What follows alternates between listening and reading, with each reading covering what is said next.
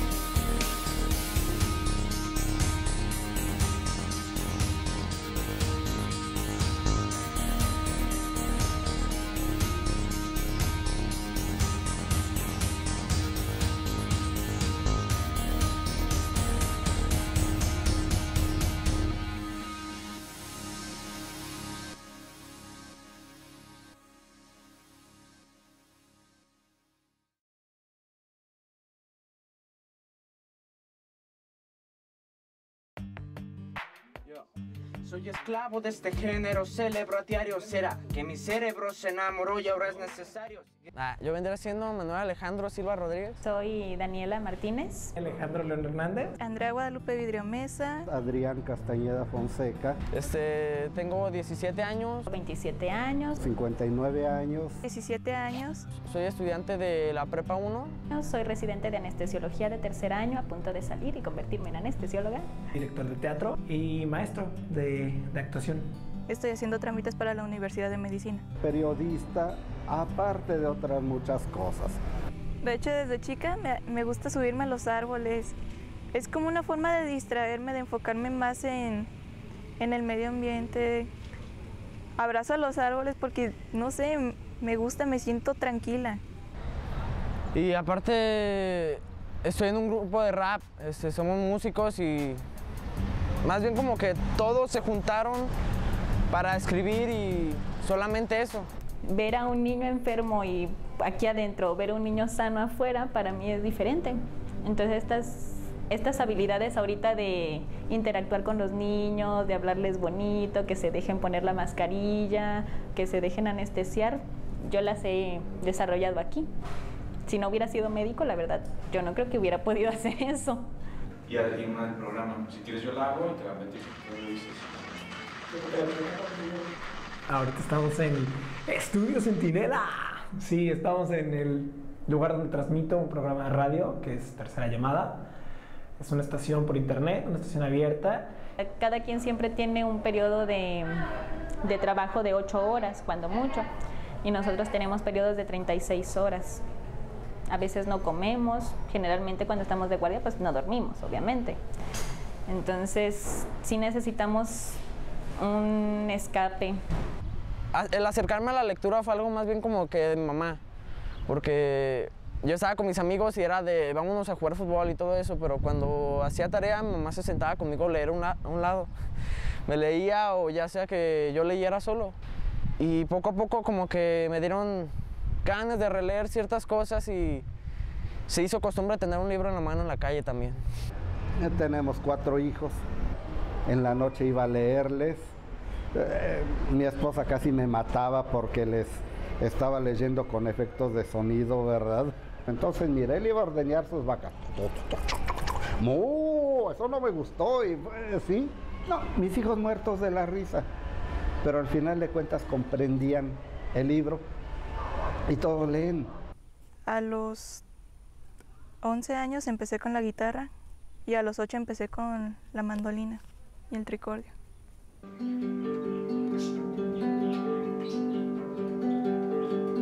Si me voy a casar, me gustaría que mi esposo, no sé, le interesara la cultura, ya fuera músico, fuera, no sé, actor, escritor, pero que sienta algo de apreciación por el arte. Siempre cuando salgo de aquí me voy al gimnasio y hago más o menos como una hora de ejercicio. Llego a mi casa, me baño, leo un rato, o no sé, me voy a correr. Pero ahorita sí trato ya de darme un poquito más de espacio para mí. Por ahí leí que no se podía conocer uno mismo, pero yo pienso que tienes como más fluidez inclusive en tu conciencia, inclusive para hablar con tu voz interior nomás. Hey, voy a la esquina, se me antojó un lonche y hasta lo dices con más, ah, con más sabor. Hay gente que solo mira, no ve, menos aún observa. Entonces, esa es mi formación prácticamente. Si usted lleva a 10 personas diferentes a ver una película, cada uno saldrá con una impresión diferente de esa película. Cada persona tiene su individualidad, cada uno tiene sus cadaunadas, dicen por ahí. Cuando uno habla de literatura, creo que tendría que entender que hay un sinfín de literatura. O sea, la dramaturgia es parte de la literatura, ¿no? Entonces, no son iguales, o sea, ni cerquita de ser iguales. Es que no son cosas inventadas de la nada, o sea, son cosas inventadas de lo que vivimos, ¿no? Entonces, efectivamente, una de las condiciones para cualquier director, actor o dramaturgo es tienes que vivir la vida, o sea, tienes que darte cuenta de lo que ocurre a tu alrededor, porque en un camión te puedes encontrar mil y una historias, ¿no? En cualquier lugar te encuentras mil y una historias. Yo siempre estaba muy traumado con, con Dante Alighieri, con la Divina Comedia, nada más que no he pasado del infierno.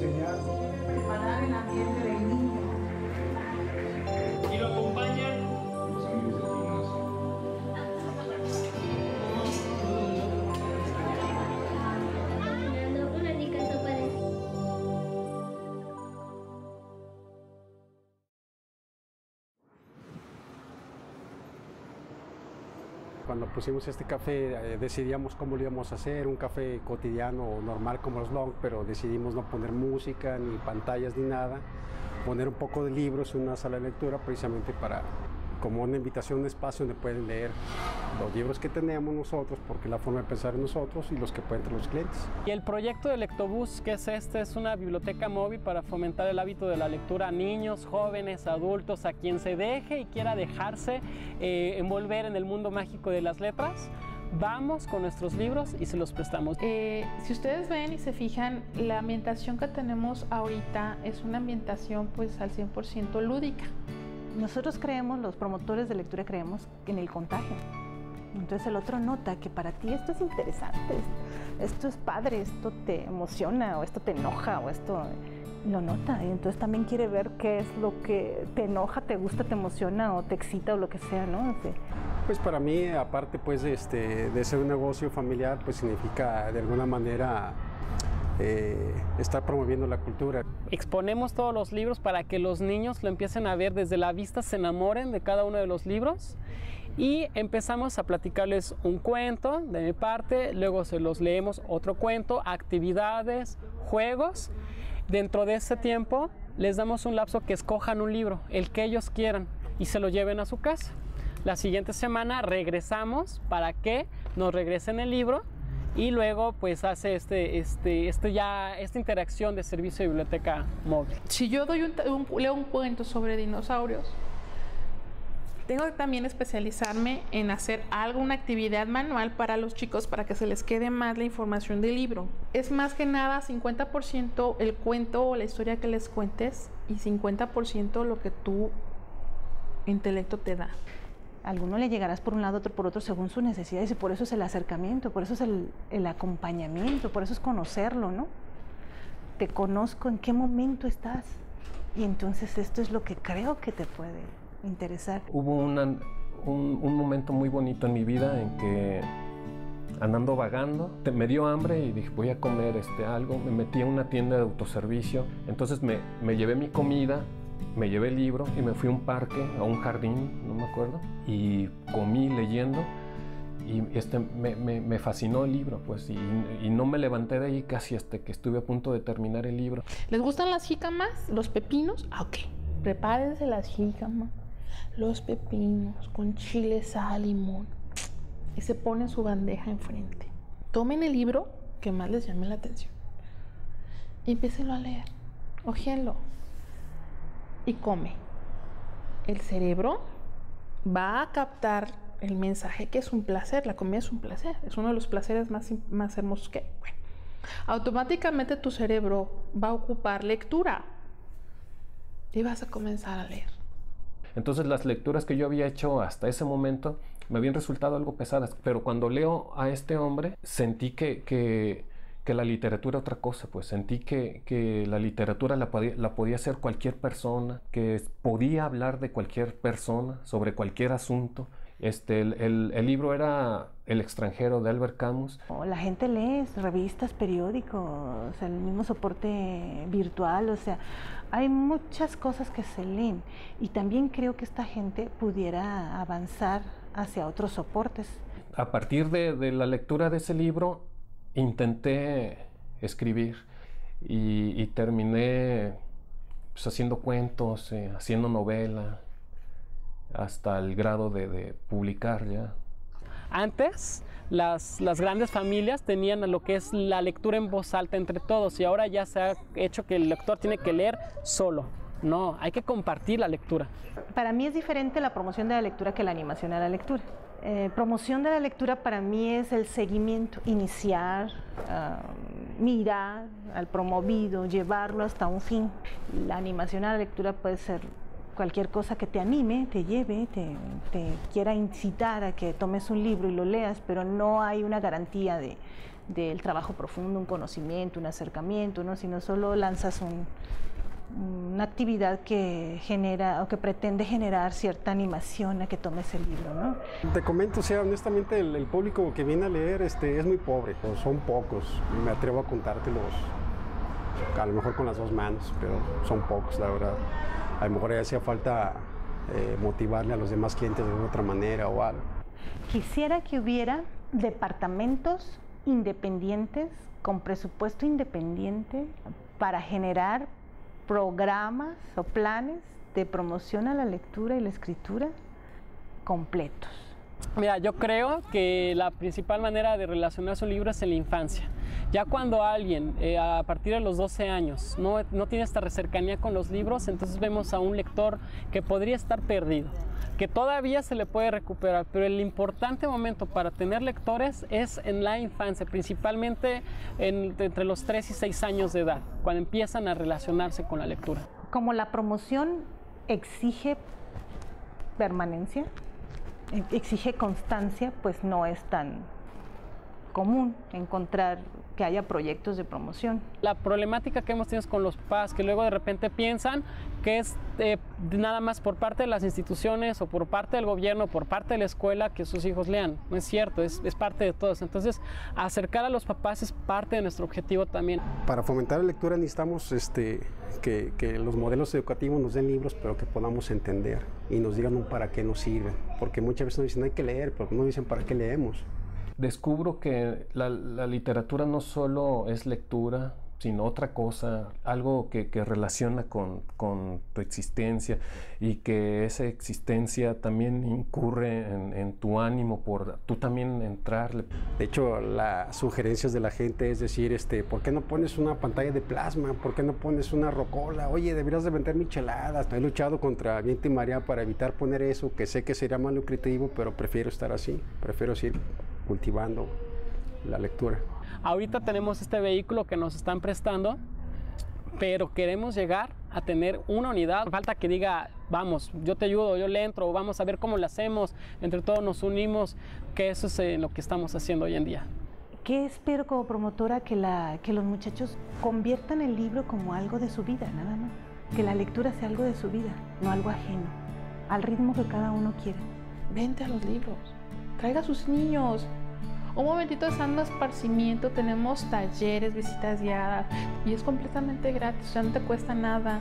La biblioteca los espera con los libros abiertos.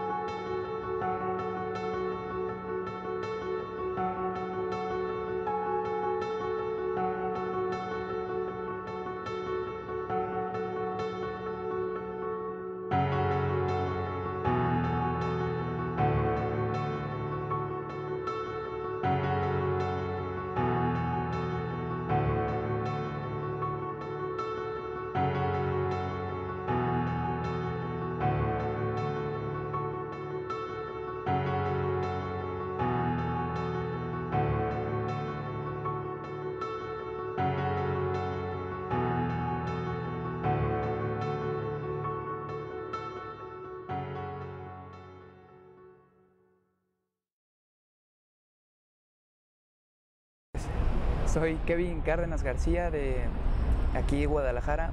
Estudio letras hispánicas. Bueno, aquí es el Centro Integral en Salud Mental de Tonalá. Los problemas más comunes aquí son el desempleo, la violencia familiar, mm, una situación económica muy deficiente, situaciones de vivienda improvisadas. Julia es muy activa, este, desde que estaba chiquita, ¿no? Es activa físicamente, es muy activa. Entonces, ella no la puedes tener no le puedes decir, Julia, camina de la mano. Julia va así, brincando, o en zigzag, no puede, o sea, no puede. Eh, tiene muchas energías. Este, yo tengo cuatro hijos. Y de los cuatro hijos, dos de ellos los siento más inclinados hacia la lectura que los otros dos. A mí me habían comentado en un taller de, literatura que, que tomé que había libros para cada situación, ¿no? Y, que uno los agarraba sin, saber y al momento de estar leyendo iba resolviendo sus dudas, ¿no? Tenían el sueño de, tener un hijo médico, ¿no? Incluso también yo me, era una de mis pasiones la, ciencia y la, biología, la anatomía, pero pues descubrí que era mejor el arte. Y ya que tomé la decisión y se las comuniqué, no, no, no se opusieron, solo me, sí me cuestionaron, pero pero me apoyaron, me apoyan. El interés por los libros fue desde que estaba chiquita. Entonces, por eso me traje este libro.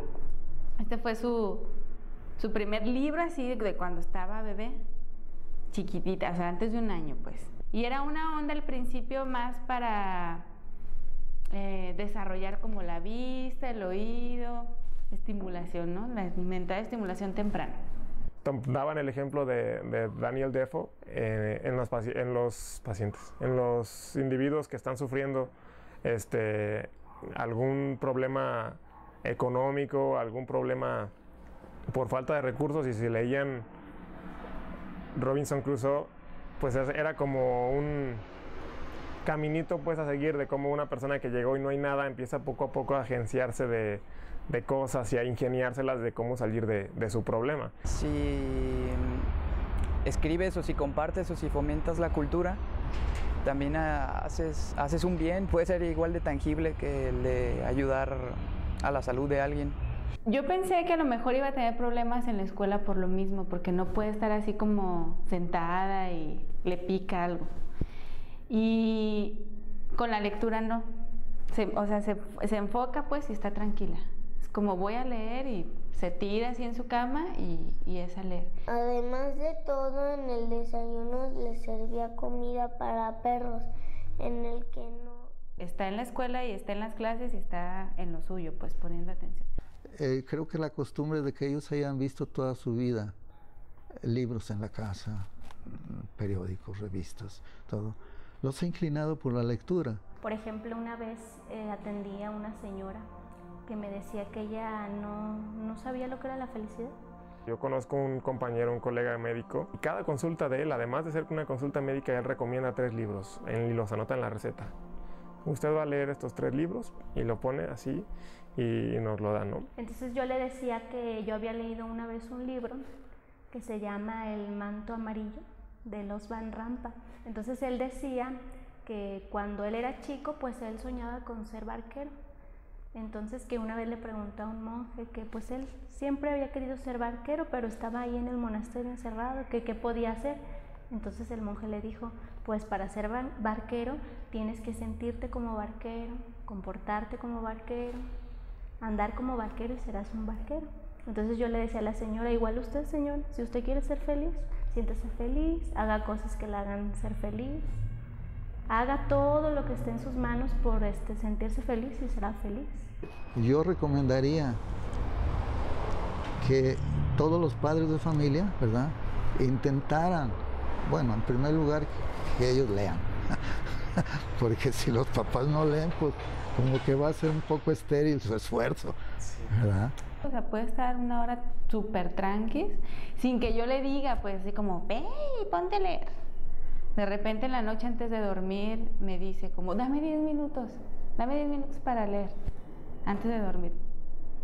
Yo creo que sí me ha abierto la mente, me, me ayuda a observar los detalles, este, eh, abre los sentidos también, desde, desde, la vista al tacto, al gusto, te, te esfuerzas por, no sé, por por aprender todo lo que la realidad tiene por ofrecer.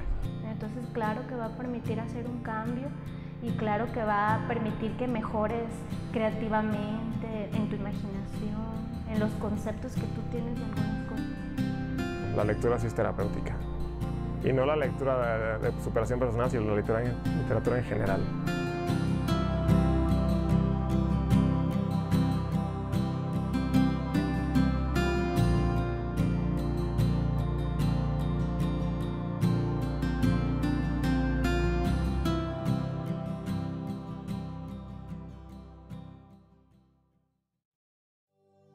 En México, el 92.6% de las personas de 15 años en adelante saben leer y escribir. Prácticamente todos han leído un texto en su vida, un anuncio, una receta, un mensaje de celular, una revista. La pregunta no es cómo leer, sino cómo empezar a leer por gusto.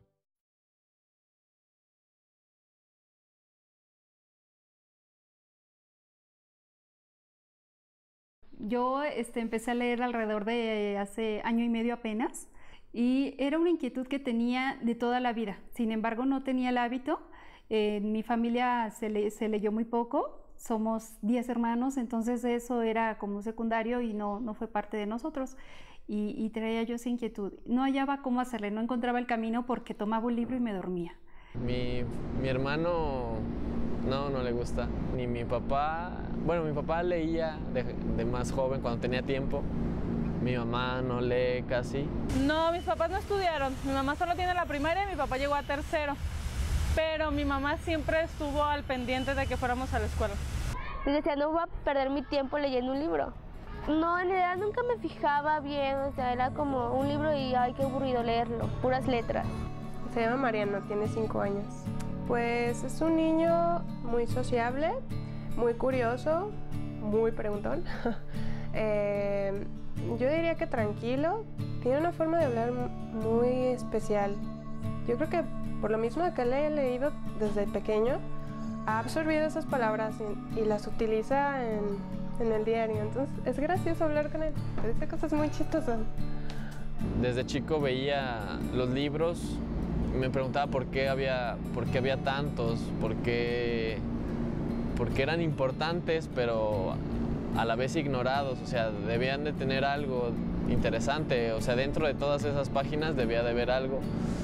Y nunca me atreví a, a hojear uno porque me parecía interminable algún libro de 300 hojas.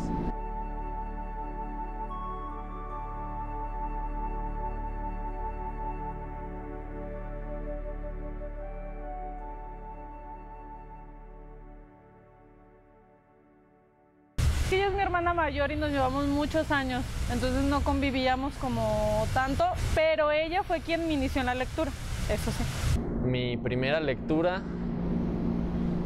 no sé, digo, El Principito podría ser. Los de Crepúsculo, la saga. Nunca, la, nunca había visto la primera, la vi como un año después porque mi prima la puso y me gustó el, así como la historia, y entonces comencé a, a, comprar los libros. En el libro lo hace más interesante, en cambio si tú lees primero el libro y luego ves la película se te hace como muy hueco. Por otro lado, yo me enteré que había un círculo de lectura en donde compartían un libro cada quien. Eh, somos mujeres de diferentes edades, eh, de diferentes lugares. Simplemente eh, Mónica Márquez, que es la, la persona que nos guía, nos propone un libro, al siguiente mes lo llevamos ya leído y bueno, pues ya llegas, llegas ahí y te vas de otra manera.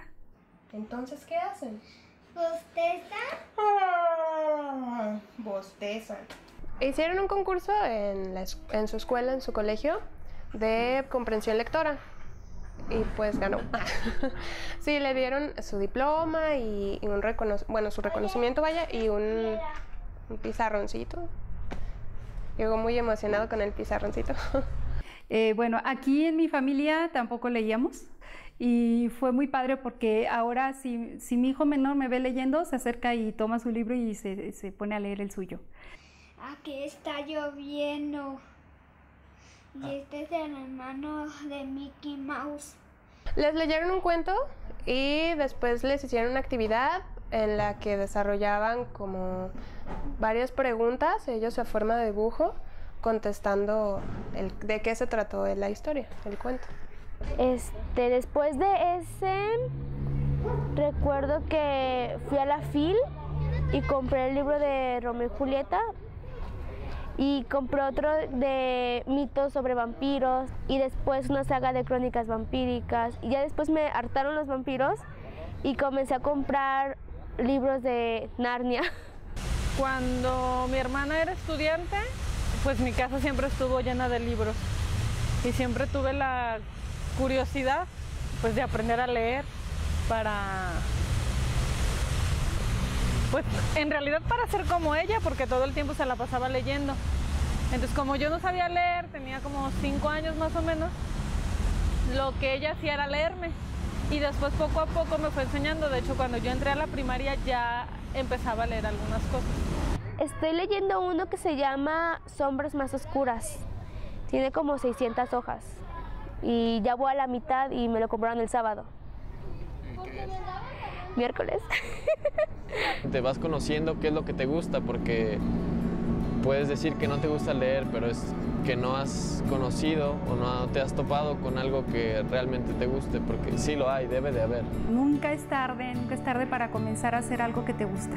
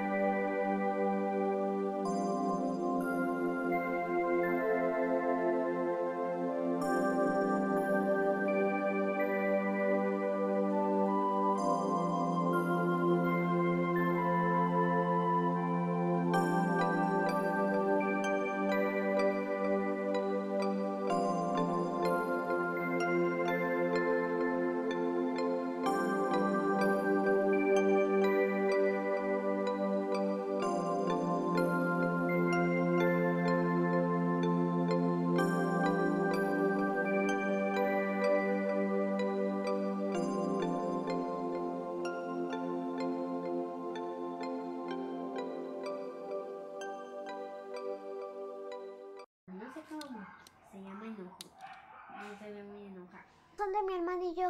Algunos son míos. El de vamos a buscar un tesoro es mío.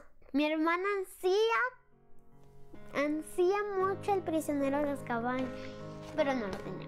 El Harry Potter me llamó la atención porque era de misterio acción, y cada vez que encontraban algo resolvían el problema. Sí, en mi casa todos leen. Sobre todo en las noches, pues. O sea, después de cenar y de platicar, pues cada- casi cada quien agarra su libro. Pues sí, o sea, cuando, por ejemplo, cuando hay un libro nuevo, nos lo vamos turnando porque a todos les gusta leerlo. Y ya, pues casi siempre cuando quieren releer, releer el libro, pues cada quien agarra el suyo. Este, mm, eh, Sexus de Henry Miller, bueno, en realidad la trilogía Sexus, Plexus y Nexus la he leído toda la trilogía, cuando menos unas cuatro veces, en diversas etapas de mi vida. Creo que son los que más este, me han marcado, los libros que he leído más veces y los libros que cuando los vuelvo a leer me dicen cosas nuevas. Mi autor favorito es Vargas Llosa. Algunas cosas las, las describe con una, con una crudeza delicada y, y sí llega a dolerte un poco la, y, a- y hasta te, te da coraje. Y me acuerdo que llegué, una, llegué a un punto en que hasta lanzaba el libro. De hecho, una de las, que, de, la de las primeras novelas que leí fue de, de José Saramago, la de ensayo sobre la ceguera. Y pues sí, este, me, me dejó así como que ya con otros datos y eso, te, te- pues vas luego tejiendo algunas cosas y vas sacando conclusiones, ¿no? Cuando estás hablando de un autor que escribió inicialmente su, inicialmente su obra en español, sabe cómo es la ruta 64, sabe, sabe qué es un agarrón en la calle, sabe qué son los piropos, sabe, que, sabe, sabe, sabe qué es lo que estás viviendo, ¿no? O sea, es, es- son cosas que vienen contigo. Em, Te puede provocar el mismo disfrute leer el mismo libro durante seis meses, una y otra y otra vez, que leer un libro distinto cada semana. Yo creo que lo importante es disfrutar la lectura. El de Los Juegos del Hambre.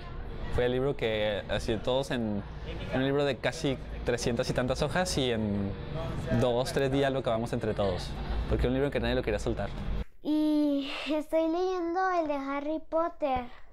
Voy en el capítulo 15. Algunos compañeritos míos casi no saben leer. Cuando leen poquito, se traban. Si no fueran parte de nuestra felicidad, diríamos que los libros de Alicia corresponden a esta categoría. Puedes formular tu vocabulario y no trabarte en muchas cosas y también mejorar tu ortografía y poder viajar a diferentes mundos cuando estés soñando. Pues yo creo que principalmente le recomendaría leer los libros más básicos, los más simples, que tienen un lenguaje que no es tan complicado y que la historia los hace más que pensar, así como soñar. Como si viera la película, pero en tu cabeza son los que más atraen a la gente y de ahí empiezan y llegarán hasta más complicados, pero después.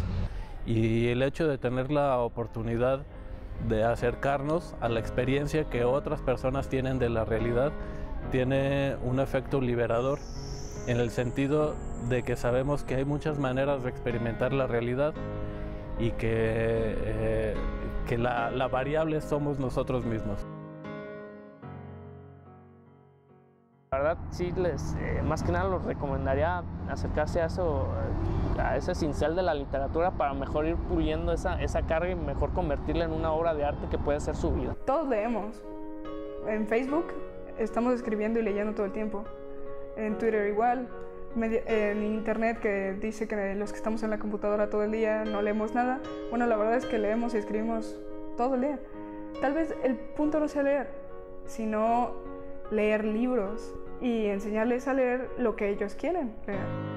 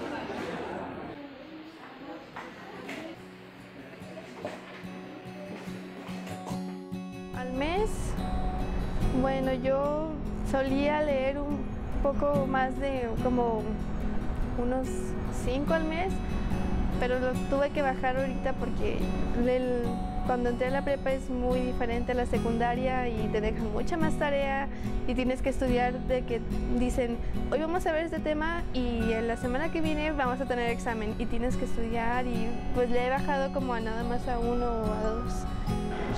El lugar donde yo me siento a gusto, este, donde hay poco ruido, eh, donde me puedo concentrar, puedo pensar, incluso puedo reflexionar acerca de lo que estoy leyendo. Por ejemplo, busco o espacios públicos, ya sea la calle o un café, por ejemplo. ¿no? Realmente el- la mayor parte de mi tiempo estoy trabajando. Entonces lo que hacía era leer mucho en la computadora.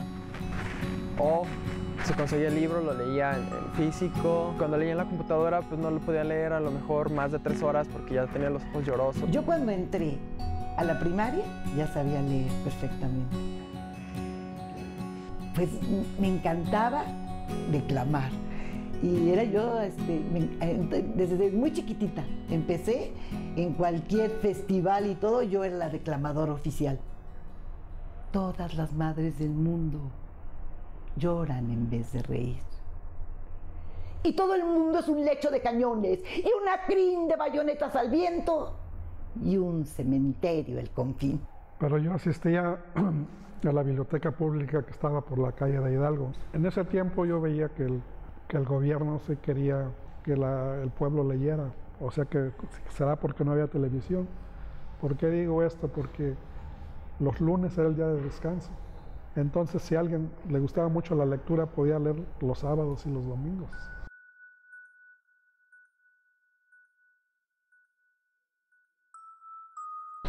No me siento tan libre cuando estoy leyendo en un espacio cerrado. En mi casa sí, pues, pero es como el momento de descanso y, y, por ejemplo, de fin de semana cuando dejo de trabajar o por las noches cuando llego un poco cansado y me pongo a leer. Entonces ese se me hace un error que para fomentar la lectura debía estar abierto los domingos.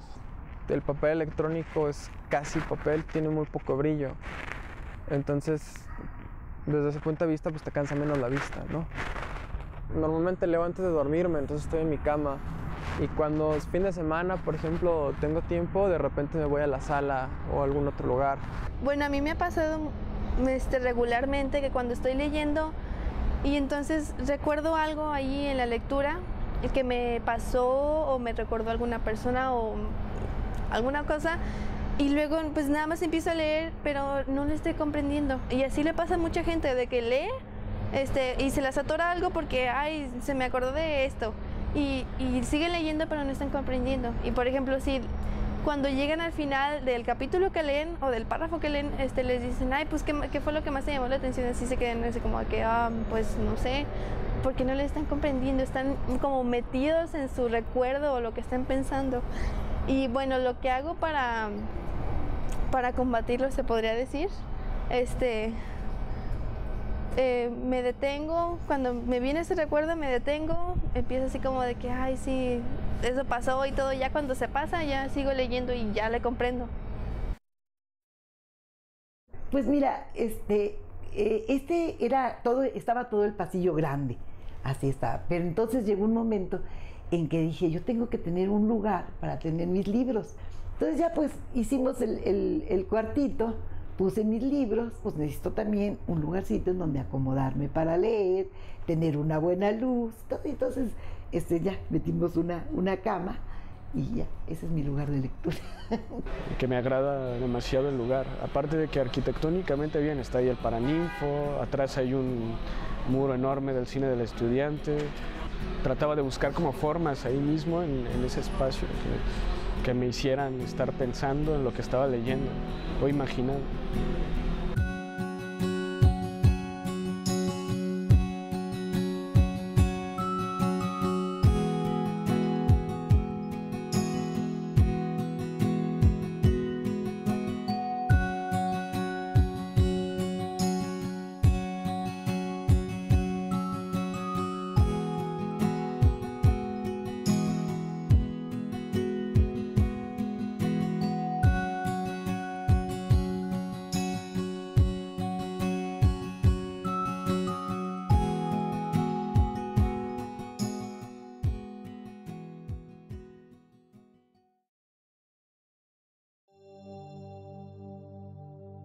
La lectura puede ser parte de tu vida diaria, sin dejar de hacer tus actividades y pasatiempos.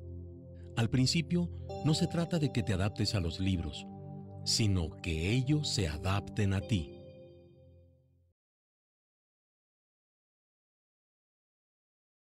En mi escuela hay un festival que se llama el Festival de la Expresión. Ahí puedes participar bailando, cantando, haciendo muchas cosas. Yo normalmente he escrito cuentos y los he ilustrado yo misma y se los he contado, pero cuentos así muy sencillos. Yo ahorita me he hecho como más adicto al internet, de que todos los días estoy en internet. O sea, ahí me entretengo platicando o me pongo a ver series o a ver información sobre libros o a leer. A veces me pongo a leer fanfics, entonces me entretengo. Desde los aproximadamente desde los seis años que yo me acuerdo, ya mi papá me llevaba al cine, él fue el que me inició en esto. Había días en que me aventaba hasta, hasta tres películas al día. Soy aficionado a la barra de café. Soy barista, llevo cuatro años en esto. He tomado cursos de barra, cursos de cata, eh, este, estoy por ver si curso uno de tostar café. Es una cultura increíble, sinceramente, y, y, y sí me ha abierto muchísimas puertas me encanta y por algo está el café, ¿no? Creé el blog el 30 de mayo del 2010. Lo creé porque muchos de mi, de mi salón, de mi escuela o de otros amigos se interesaban porque estaba leyendo. Entonces, ¿qué estás leyendo? Y, ah, eso, esto. ¿Y de qué se trata? O, o, ya va a salir la película de este libro y este... Entonces me preguntaban mucho, entonces investiga, en, investigando internet vi que existían blogs literarios. Los, los libros que leía los reseñaba entonces poco a poco pues fui aprendiendo cómo usarlo, cómo utilizarlo.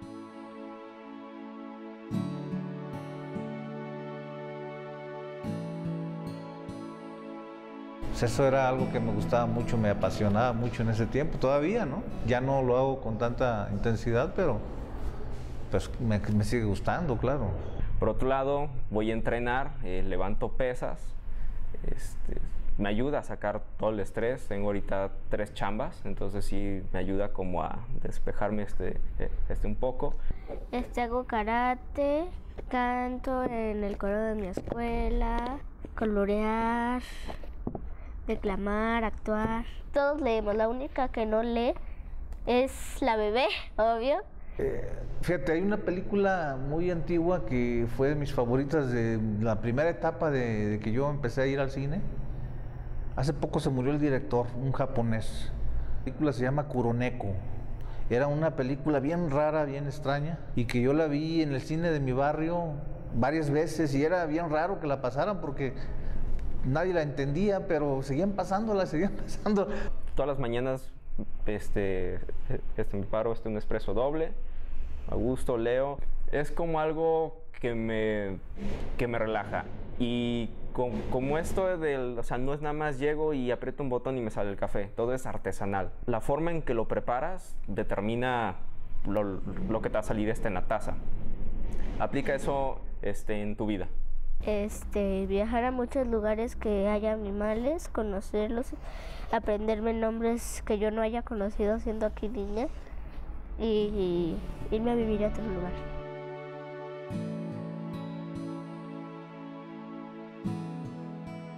Y conforme fueron creciendo las visitas, eh, recibí este, correos de las editoriales que empezaron a decir, nos interesa colaborar contigo, este, ¿qué te parece si te mandamos este, libros y tú los reseñas y sirve como de promoción?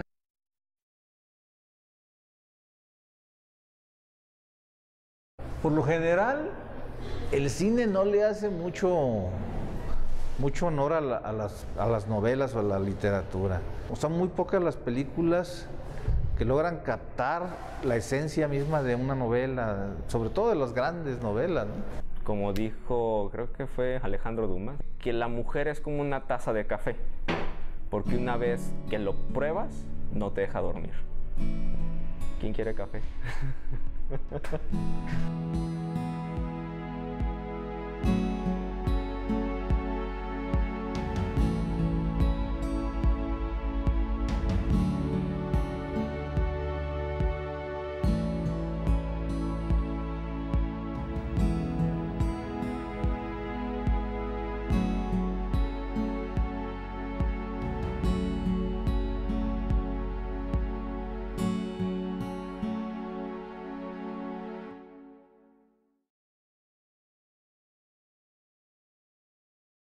Un hombre del pueblo de Neguá, en la costa de Colombia, pudo subir al alto cielo y a la vuelta contó.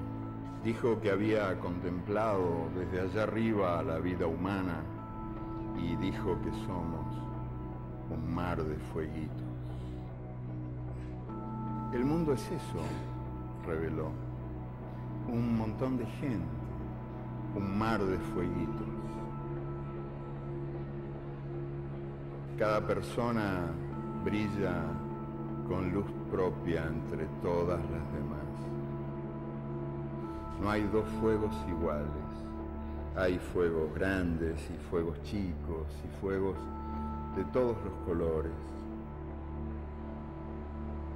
Hay gente de fuego sereno que ni se entera del viento y gente de fuego loco que llena el aire de chispas. Algunos fuegos, fuegos bobos, no alumbran ni queman. Pero otros, otros arden la vida con tantas ganas que no se puede mirarlo sin parpadear y quien se acerca se enciende.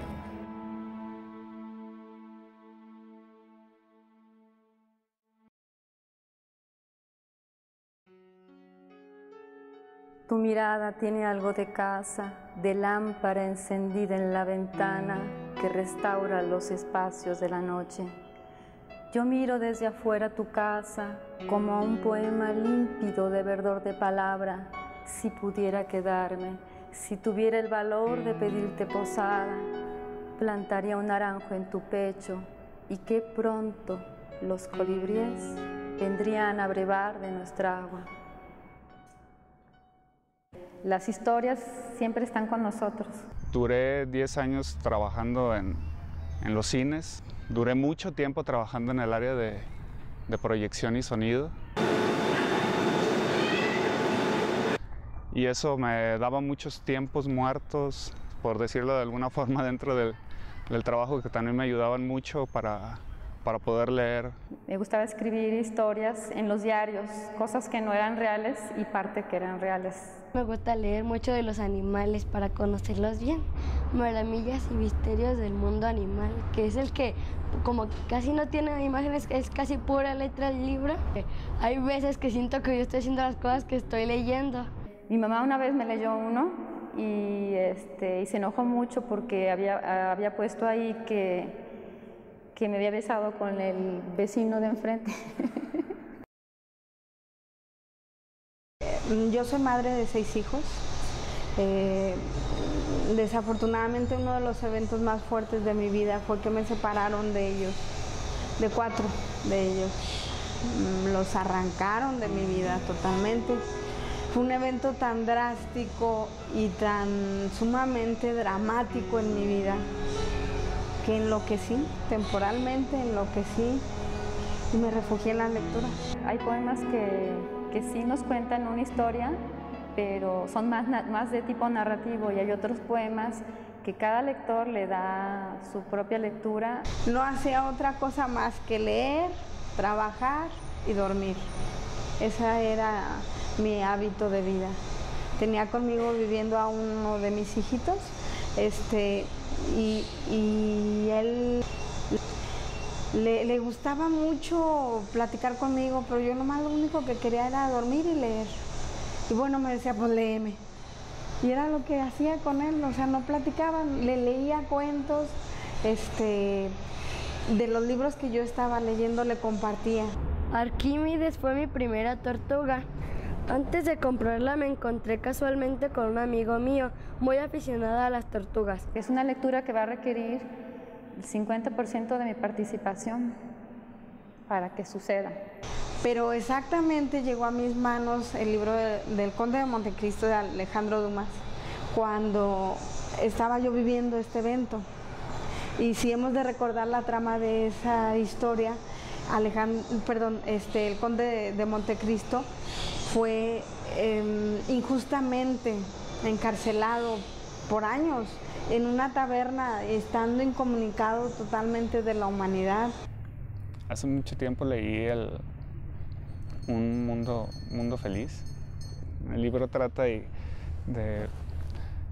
que son el ser humano ya no nace como realmente como lo conocemos, sino que son ahora sí como que probetas, clones y tú estás destinado nada más a hacer ciertas actividades y nada más vas a hacer eso y como no tienes aspiraciones de nada más, este, pues así tú vas a ser feliz.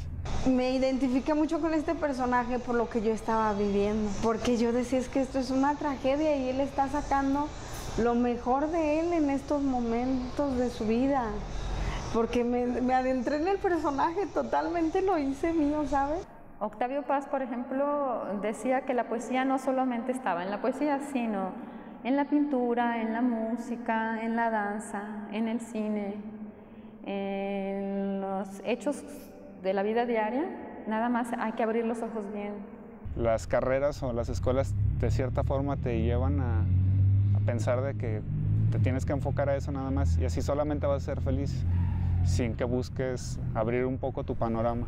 Me dio tanto gusto cuando él resurgió de entre las personas que lo habían tiranizado de la forma más inteligente. Yo decía, nomás es cuestión de tiempo, de esperar y de enriquecerme, o sea, aplicar la sabiduría en mi vida.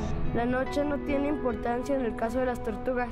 Tienes que darle de más comida variada, agua suficiente para beber y bañarse y un lugar donde recogerse en un sitio apartado y oscuro.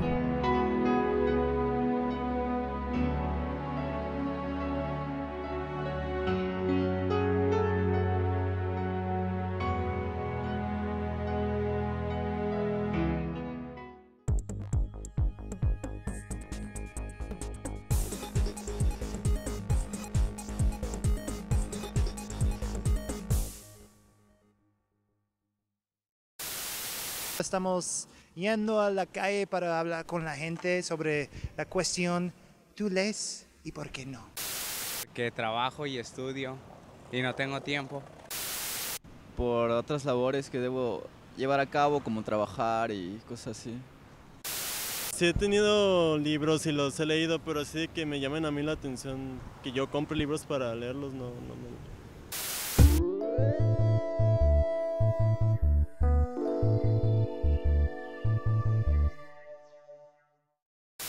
Pues tal vez porque no tienen el interés.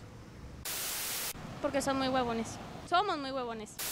Creo que por falta de educación, hace mucha falta de educación desde la familia, que te lo inculquen desde pequeños. Pero como que siento que es desde pequeños. Desde la familia, si no te dice que leas, es como que de ahí. Los maestros no están educados para, para formar una, una sociedad lectora. Eh, por flojera, por comodidad. Prefieren ver la televisión o hacer otras cosas que, que tomarse el tiempo y leer un libro.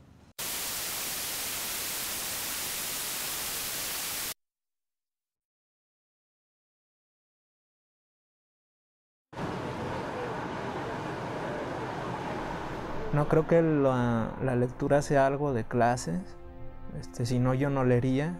Si partimos del hecho de que los que tienen dinero leen, um, yo empecé a leer sin tener dinero, leía libros prestados. Tengo tres hijas que por ahí se escuchan. Te levantas muy temprano, no duermes, estás al pendiente de la familia, de todo, y aun cuando quieras tomar un momento para ti, que dices, ay, ahorita, cinco minutitos para mí, los quieres pero para descansar y acostarte y dormir. Si yo no me veo en el espejo, ni me preguntan la edad, ni empiezo a, a, hacer recordatorios buenos y malos de todo lo que he pasado, yo no me siento la edad que tengo. calcio, fosforetupina, un glucósido que se usa para tratar algunas enfermedades vasculares. Me quedé ciego y pues me sentí muy mal. Ya no viven mis padres. Pues yo al principio pensaba mucha vergüenza porque cuando empezaba a andar chocando con todo y todo, y uy, ese y cuando ya uno más o menos agarras práctica y andas más seguro, de todos la gente más está, oh, sí ves, se hace güey, y pura de esa. Yo a distancia, sin lente, yo te veo dos, tres cuadros, perfectamente bien. En la lectura no, Con los lentes sí, perfectamente bien, hasta dos horas seguidas. Pero creo que básicamente lo que yo intuía y percibía que necesitaba yo algo en que entretenerme, pero algo que me resultaba productivo hasta en mi vida personal. Le comenté al maestro, maestro, este, vivo en tal parte, quisiera llegar a la biblioteca. Y estuvimos este, practicando el nombre de las calles. Y un día tomé la determinación de, de llegar aquí, a este lugar. Sí, yo me he comprado libros de 10 pesos, hasta de 5 pesos. Entonces, no creo que un lector esté como a la espera de que le llegue el libro. Si ya leyó uno, va a buscar otro. Si le gustó leer, va, va a buscar. Por ejemplo, sales a la calle y es una bronca, una batalla, y con todo mundo y con todo. Y por eso llegas aquí y sientes una tranquilidad. Eh, las banquetas en pésimas condiciones, algunos negocios que tienen sus puertitas de más abiertas para anunciar algo, motos y bicicletas arriba de la banqueta, automóviles también. Me costó mucho trabajo, un esfuerzo, me sentía muy mal, pero llegué.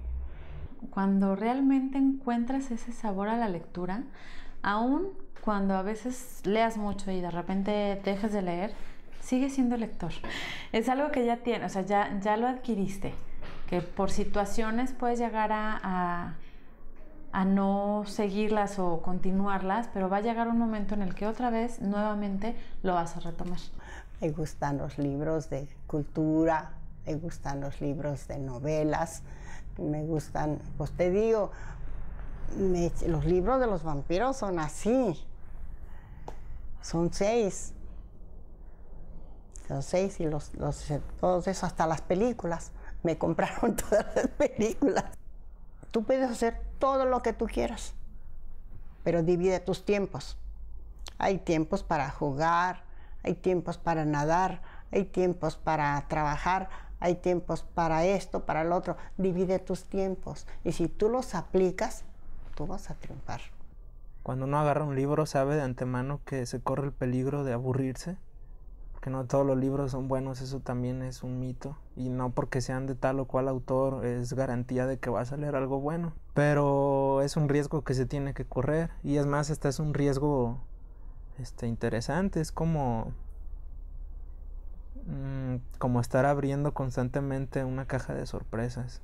Pues la verdad es de que aquí sí encontré de veras verdaderos amigos. Pues lo que me pone bien venir para acá de que se platican cosas positivas. Porque yo vivo en una organización donde ahí veía puras cosas que yo decía, pues todos de los este, invidentes, pues va a ser algo donde nos vamos a apoyar y algo diferente. Y no, ahí iba y me deprimía. Hice la secundaria a través de estar ciego.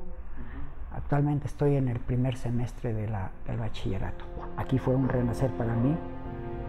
Este, le empecé hasta a tomar sentido a mi vida, a mi edad, y fue cuando ya encontré este lugar, ya estando estudiando, estudié lo de naturismo, eh, que tu alimento sea tu medicina y tu medicina tu alimento, el naturismo es de lo que trata, el que comer para estar bien. Y cambiando tu alimentación cambia tu mentalidad, estás más tranquilo y todo eso te da más por estudiar, por leer, por, por otras cosas más positivas cuando ya estás en paz, tu mente está tranquila y todo, sin estrés. Yo creo que un lector no espera, un lector busca. Eh, independientemente de si tiene lejos o cerca los libros, alguien que tiene el gusto por leer va a leer lo que sea eh, y se va a encontrar algo porque libros sobran. Si hay algo en el mundo es libros. No hay obstáculo, no hay obstáculo. Búscale por donde le busques, no hay obstáculo. Querer es poder. Y eso no nomás en la lectura, en cualquier cosa.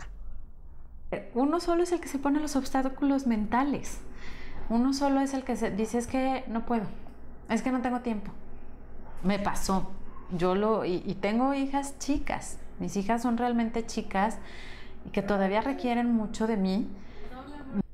Porque te estás proponiendo hacer lo que tú quieres. Y si no te sale bien una cosa, luchas para superarte y lo vas a lograr porque lo quieres hacer.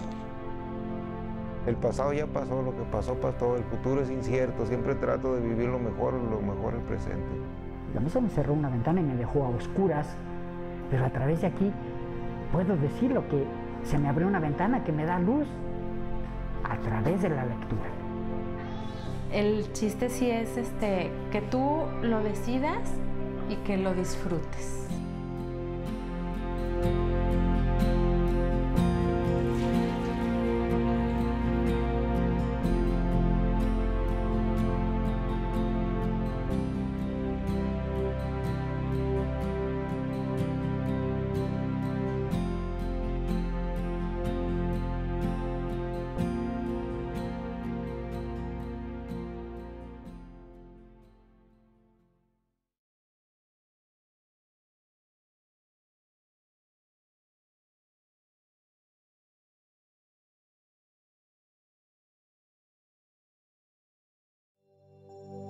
¿Qué significa estar en la luna? Algunas personas también dicen estar en las nubes o soñar despierto. Estas expresiones quieren decir que alguien está distraído en otro mundo. Uno puede estar fuera de la realidad sin darse cuenta, pero también por decisión propia. Cuando ves a la persona que amas, cuando juegas, cuando tienes una conversación interesante, cuando observas un paisaje majestuoso, cuando pones total atención en lo que te gusta, estás en la luna.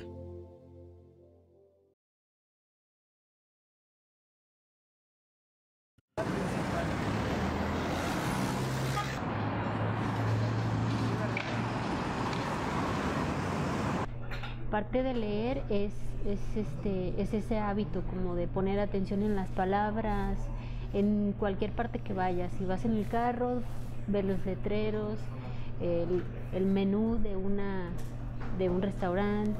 De hecho, a mí la FIL se me hace como el evento más grande. De hecho, creo que fue una de las cosas que más me entusiasmó venirme a Guadalajara porque nunca había estado en una FIL.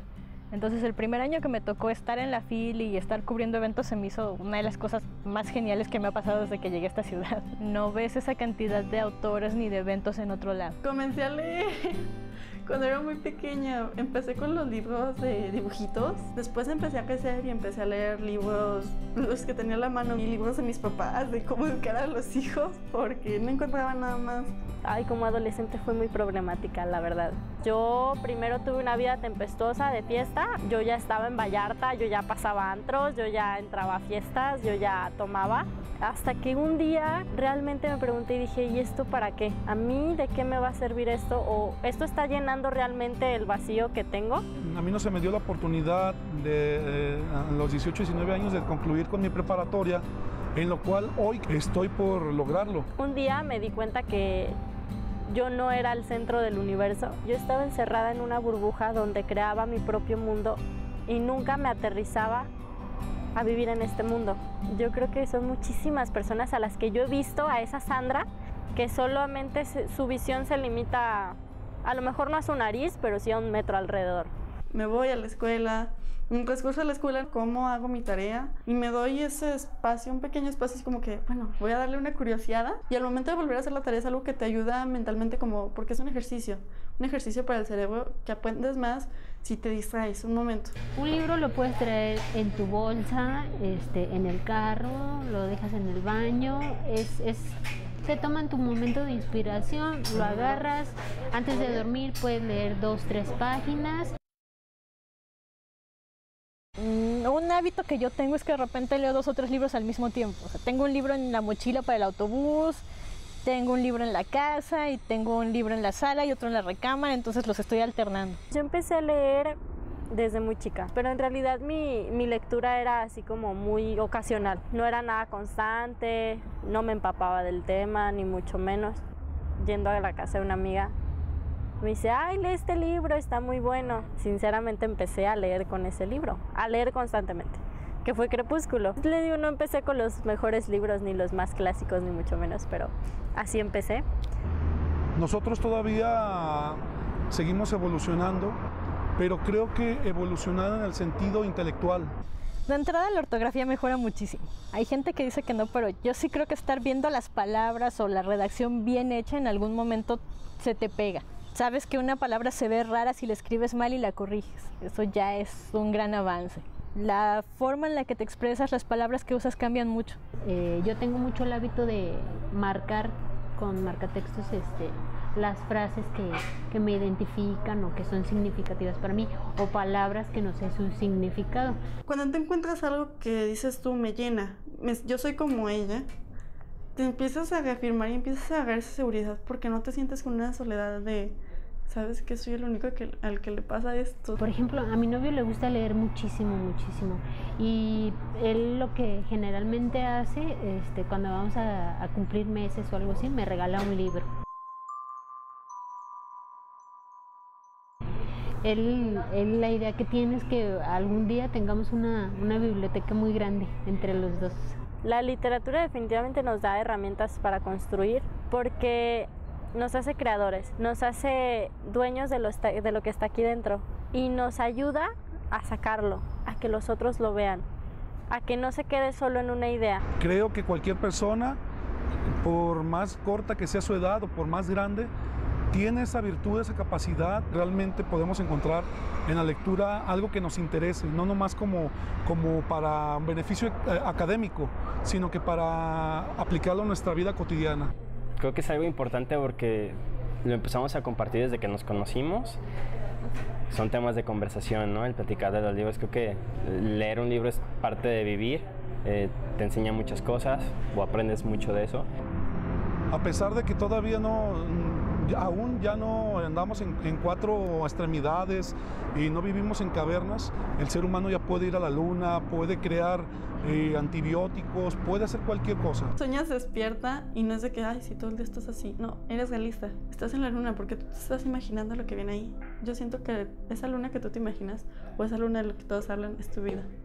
Bueno, un, li un, libro que creo que los dos recomendaríamos y que, bueno, ella está terminando de leer es Un, un grito de amor desde el centro del mundo de Kiyoshi Katayama. Creo que es un libro muy pequeño, te lo puedes leer en un par de horas o en dos, tres días a lo mucho.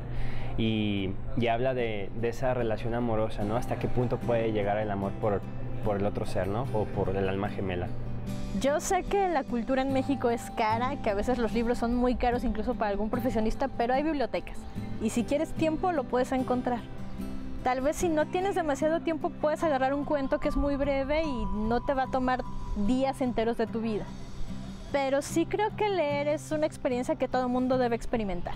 Si no lo pruebas nunca vas a saber si era bueno o no. Porque no son solo palabras en una hoja, es mucho más, es lo que sucede dentro de ti.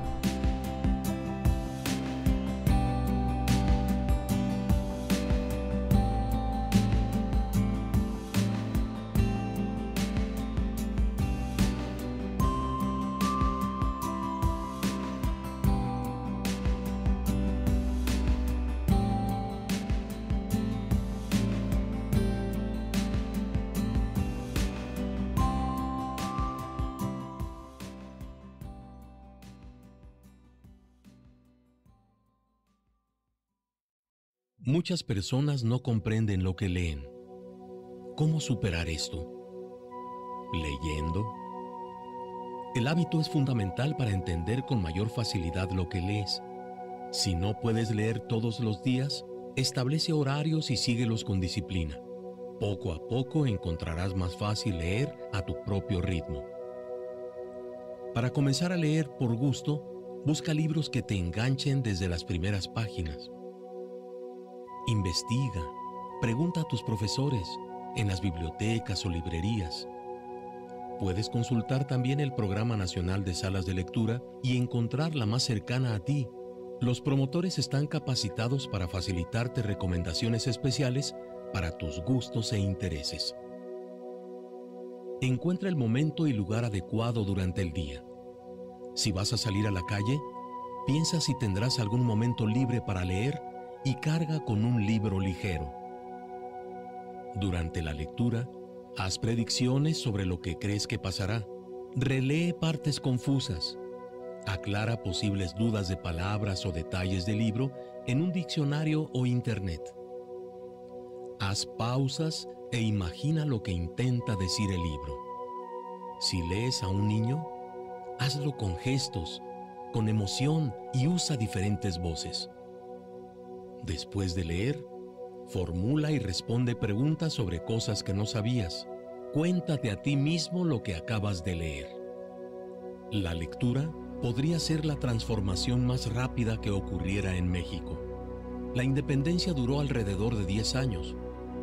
Esta revolución dura solo 20 minutos al día. Comienza en ti.